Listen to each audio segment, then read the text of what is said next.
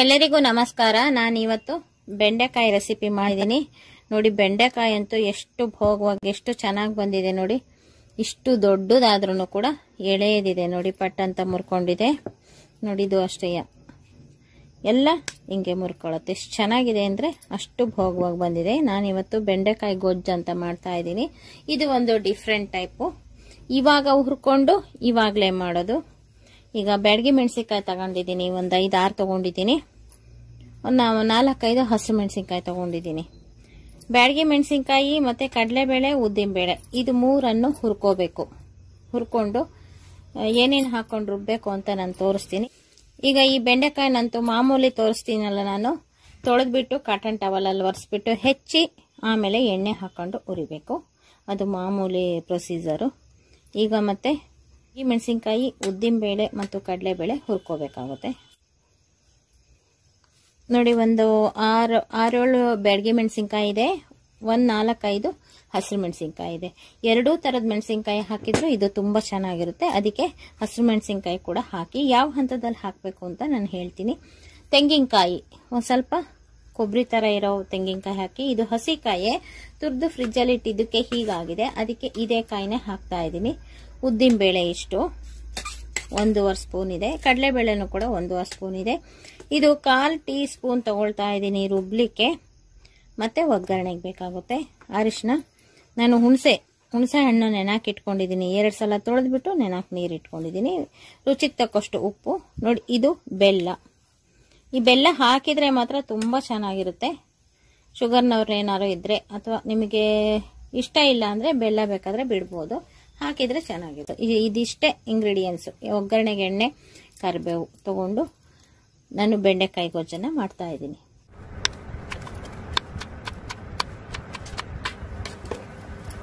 ನೋಡಿ ನಾನು ಈ ಸಲ ಇಷ್ಟಿಷ್ಟು ತಪ್ಪಕ್ಕೆ ಹೆಚ್ಕೊಂಡು ರೆಡಿ ಮಾಡ್ಕೊಳ್ತಾ ಇದ್ದೀನಿ. ಈ ಬೆಂಡೆಕಾಯಿನ ಇವಾಗ ಎಣ್ಣೆ ಹಾಕೊಂಡು ಹುರ್ಕೊಂಡು ಬರೋಣ. ನೋಡಿ, ಅದ್ರ ಜೊತೆಗೆ ಉದ್ದಿನ ಬೇಳೆ, ಕಡಲೆ ಬೇಳೆ, ಮೆಣಸಿನ್ಕಾಯಿ, ಬ್ಯಾಡಗಿ ಮೆಣಸಿನ್ಕಾಯಿ ಕೂಡ ಹುರ್ಕೊಂಡು ಬರೋಣ. ನೋಡಿ, ನಾನು ಗ್ಯಾಸ್ ಹಚ್ಚಿ ಒಂದು ಹೆಂಚನ್ನ ಕಾಯ್ಲಿಕ್ಕಿಟ್ಟಿದ್ದೀನಿ ಇದಕ್ಕೆ ಒಂದೇ ಒಂದು ಸ್ಪೂನು ಎಣ್ಣೆ ಹಾಕ್ತಾ ಇದ್ದೀನಿ. ಈಗ ನಾವು ಮೊದಲಿಗೆ ಕಡಲೆಬೇಳೆನ ಹುರ್ಕೊಳ್ಳೋಣ.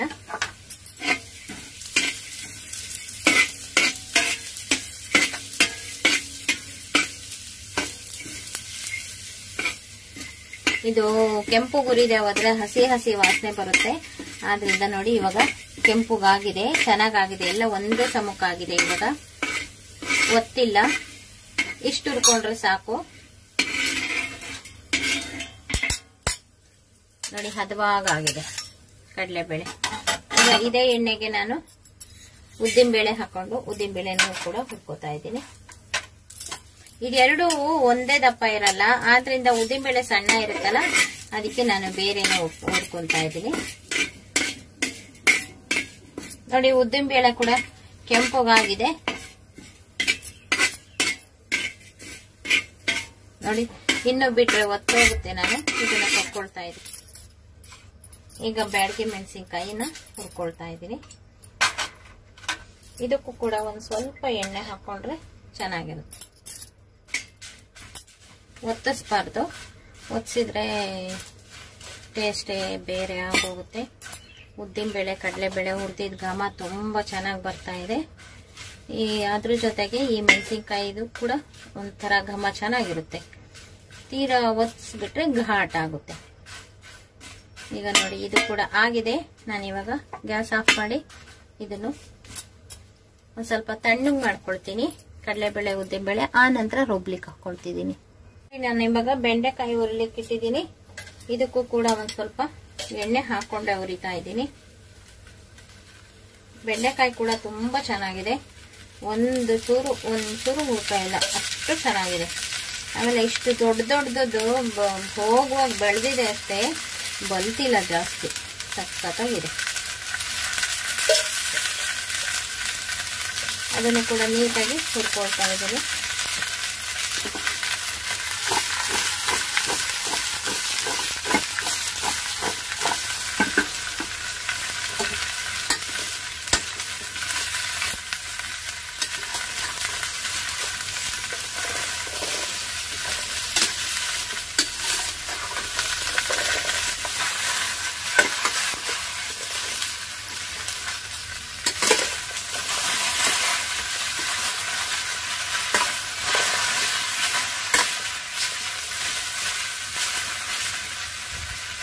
ನೋಡಿ, ಇದೇ ತರ ನಾನು ಚೆನ್ನಾಗಿ ಹುರ್ಕೊಳ್ತಾ ಇದ್ದೀನಿ. ಆ ನಂತರ ತೋರಿಸ್ತೀನಿ.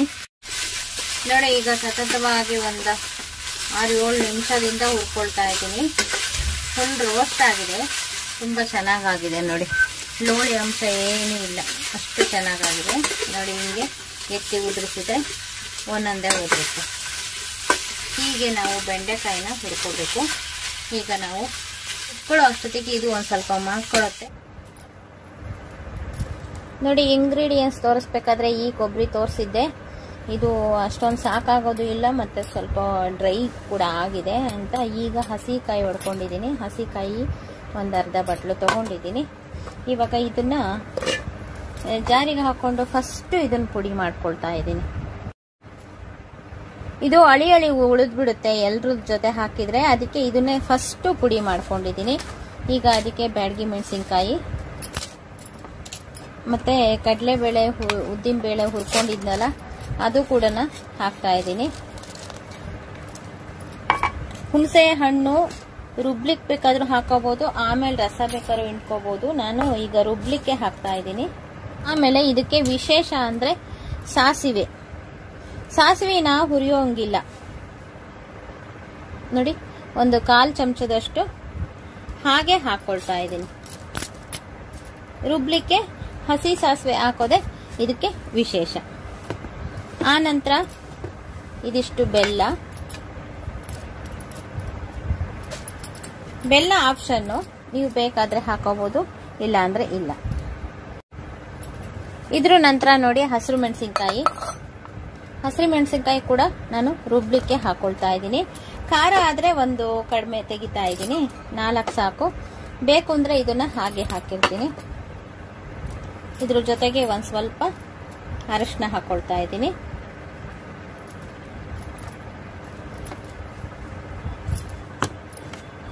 ಒಂದ್ ಸ್ವಲ್ಪ ಉಪ್ಪು ಹಾಕಿದ್ರೆ ಬೇಗ ನುಣ್ಣಗಾಗುತ್ತೆ ಅಂತ ಒಂದ್ ಸ್ವಲ್ಪ ದಪ್ಪ ಉಪ್ಪು ಕೂಡ ಹಾಕೊಳ್ತಾ ಇದ್ದೀನಿ. ಈಗ ನೀರ್ ಹಾಕಿ ಇದನ್ನ ಫೈನ್ ಆಗಿ ಪೇಸ್ಟ್ ಮಾಡ್ಕೋಬೇಕು.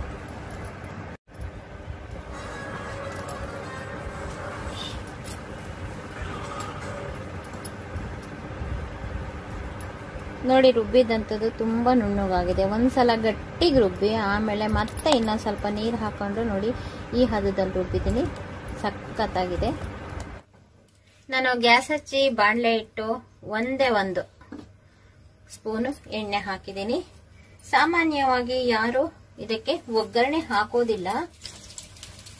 ಹಾಗೆ ಡೈರೆಕ್ಟ್ ಖಾರನ ಕುದಿಲಿಕ್ಕೆ ಇಟ್ಬಿಡ್ತಾರೆ. ಆದ್ರೆ ನಾನು ಒಂದ್ ಸ್ವಲ್ಪ ಒಗ್ಗರಣೆ ಹಾಕ್ತಾ ಇದ್ದೀನಿ. ನೋಡಿ ಎಣ್ಣೆ ಕಾದಿದೆ. ಸ್ವಲ್ಪ ಸಾಸಿವೆ ಹಾಕ್ತಾ ಇದ್ದೀನಿ. ಇದಕ್ಕೆ ಈರುಳ್ಳಿ, ಬೆಳ್ಳುಳ್ಳಿ ಉಪಯೋಗಿಸ್ತಾ ಇರೋದ್ರಿಂದ ನೋಡಿ ಒಂದು ಸ್ವಲ್ಪ ಇಂಗನ್ನು ಹಾಕ್ತಾ ಇದ್ದೀನಿ. ನಾನು ಎಲ್ ಜಿ ಇಂಗನ್ನ ಬಳಸ್ತಾ ಇದ್ದೀನಿ. ನೋಡಿ ಸ್ವಲ್ಪ ಕರ್ಬೇವು ಹಾಕ್ತಾ ಇದ್ದೀನಿ. ಒಂದೇ ಒಂದು ಹಸಿರು ಮೆಣಸಿನ್ಕಾಯಿ ಉಳಿಸ್ಕೊಂಡಿದ್ನಲ್ಲ, ಅದನ್ನು ಹಾಕ್ತಾ ಇದ್ದೀನಿ. ಅದನ್ನು ಸೀಳಿ ಹಾಕ್ತಾ ಇದ್ದೀನಿ.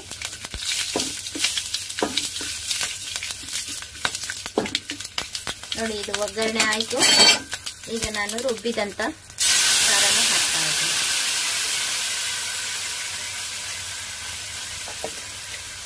ಇದು ಸ್ವಲ್ಪ ಗಟ್ಟಿಗೆ ಇದೆ.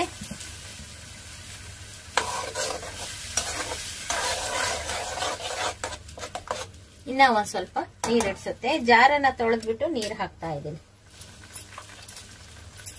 ನೋಡಿ ಈಗ ಜಾರ್ ತೊಳೆದ್ ನೀರು ಕೂಡ ಹಾಕ್ತಾ ಇದ್ದೀನಿ. ತೆಂಗಿನಕಾಯಿ, ಕಡಲೆಬೇಳೆ, ಉದ್ದಿನಬೇಳೆ ಎಲ್ಲ ರುಬ್ಬಿರೋದ್ರಿಂದ ಇದು ಒಂದು ಸ್ವಲ್ಪ ಗಟ್ಟಿ ಆಗೋ ಚಾನ್ಸಸ್ ಇರುತ್ತೆ.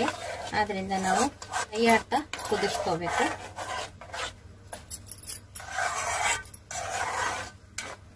ಇವಾಗ ನೀರ್ ತರ ಕಾಣಿಸುತ್ತೆ. ಕುದ್ಮೇಲೆ ಸಖತ್ತು ಗಟ್ಟಿ ಆಗುತ್ತೆ ನೋಡಿ, ಗೂರಾಡ್ತಾನೆ ಕುದಿಸ್ಕೊಂಡಿದೀನಿ. ನೋಡಿ, ಎಷ್ಟು ಗಟ್ಟಿ ಆಯ್ತು. ಒಳ್ಳೆ ದೋಸೆ ಹಿಟ್ಟಿನ ಅದಕ್ಕಾಯ್ತು ಈಗ ನಾವು ಇದಕ್ಕೆ ಉಪ್ಪನ್ನ ರುಬ್ಲಿಕ್ಕೆ ಒಂದ್ ಸ್ವಲ್ಪ ಹಾಕಿದ್ದೆ. ಈಗ ಒಂದ್ ಸ್ವಲ್ಪ ರುಚಿಗೆ ತಕ್ಕಷ್ಟು ಉಪ್ಪನ್ನ ಹಾಕ್ತಾ ಇದ್ದೀನಿ. ಈಗ ನೋಡಿ ಕುದೀತಾ ಇದೆ. ನೋಡಿ ಇಲ್ಲಿ ಈ ತರ ಗುಳ್ಳೆ ಗುಳ್ಳೆ ಗುಳ್ಳೆ ಗುಳ್ಳೆ ಬಂದ್ರೆ ಚೆನ್ನಾಗಿ ಕುದೀತಾ ಇದೆ ಅಂತ. ನೋಡಿ ಇವಾಗ ನಾವು ಬೆಂಡೆಕಾಯಿನ ಹಾಕೊಳ್ಳೋಣ. ಹುರಿದಂತ ಬೆಂಡೆಕಾಯಿನ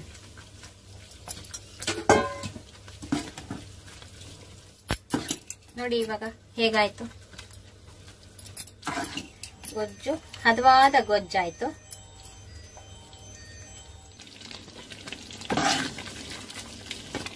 ನೋಡಿ, ಬೆಂಡೆಕಾಯಿ ಸಾಸಿವೆ ಗೊಜ್ಜು ರೆಡಿ ಆಯ್ತು.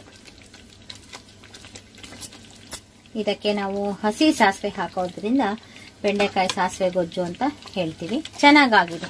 ನೀವು ರೊಟ್ಟಿ ಚಪಾತಿ, ಪೂರಿ, ಪ, ಎಲ್ಲದಕ್ಕೂ ಉಪಯೋಗಿಸ್ಬೋದು, ಅನ್ನಕ್ಕೂ ಕೂಡ ತಿನ್ಬೋದು ಗೊಜ್ಜನ್ನು. ಸಖತ್ತಾಗಿರುತ್ತೆ. ನೀವು ಕೂಡ ಮಾಡಿಕೊಂಡು ರುಚಿ ನೋಡಿ ನನಗೆ ಕಮೆಂಟ್ಸ್ ಮಾಡಿ. ಈ ವಿಡಿಯೋ ನಿಮಗೂ ಇಷ್ಟ ಆಗಿದ್ದರೆ ಲೈಕ್ ಮಾಡಿ ಶೇರ್ ಮಾಡಿ ಮತ್ತು ನಮ್ಮ ಚಾನಲ್ಗೆ ಇದುವರೆಗೂ ಸಬ್ಸ್ಕ್ರೈಬ್ ಆಗಿಲ್ಲ ಅಂದರೆ ಈ ಕ್ಷಣದಿಂದ ಸಬ್ಸ್ಕ್ರೈಬ್ ಆದರೆ ದಿನನಿತ್ಯದ ಅನುಕೂಲಕ್ಕೆ ಬರುವಂತಹ ವಿಡಿಯೋಗಳನ್ನೇ ನಾನು ಮಾಡ್ತಾ ಇರ್ತೀನಿ. Thank you for watching